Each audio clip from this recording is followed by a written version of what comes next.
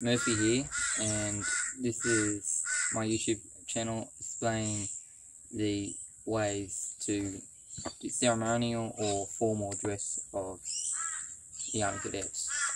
Well, first, you want to know how to your blousing. And first, you just get a little elastic band, sometimes they give it to you, or you can just buy it from the shops. Not that hard to buy. Get the blousing, or oh, I mean, a elastic band, get it on your sock then get the pants. You tuck it under like so. Grab onto the elastic band. Put it under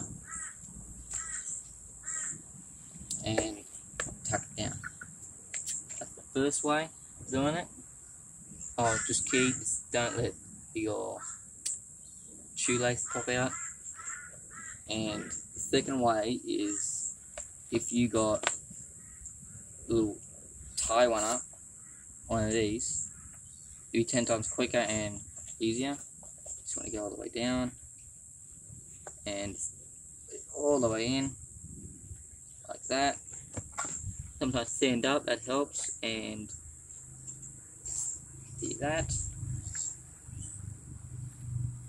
Tuck it in one more time. And you do that. Now you can choose which one you like.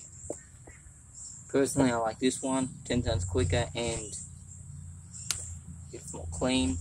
This one's a bit bulky sometimes. If it is like this, I advise you to make sure the elastic band is underneath and then it will look more better. Pick your favorites. If you want to see more of how to do your Army Cadets, like and subscribe to this video.